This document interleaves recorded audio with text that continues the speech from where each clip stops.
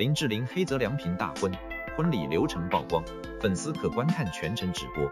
十一月十七日，四十五岁的林志玲终于嫁了出去，和那个叫黑泽良平的男人牵手一生。她曾经在无数自己扮演的角色中穿过婚纱，而今终于让自己也披上那件嫁衣，嫁给了爱情。黑泽良平和林志玲一直从昨天下午排练到十一点半。当时如果在美术馆附近的人，隐约都可以听到《月亮代表我的心》的音乐。这个应该就是婚礼的主题曲了。据台湾媒体报道，林志玲大婚将全程直播，没收到邀请的朋友及粉丝依然可以见证林志玲和黑泽良平的婚礼盛况。